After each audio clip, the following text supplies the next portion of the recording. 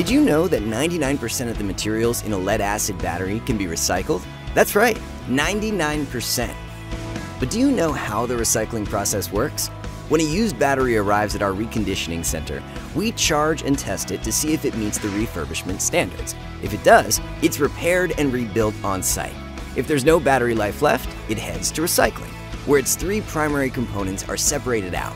The electrolyte is drained out and converted into a pH neutral liquid. The plastic is turned into pellets, and the lead is melted and refined into pure solid blocks. The plastic and lead are then used to manufacture a brand new lead acid battery. At Continental Battery Systems, we've been committed to battery recycling for 90 years, and today we recycle more batteries than we sell. Visit our website to find a battery recycling location near you. Continental Battery Systems, the single source solution.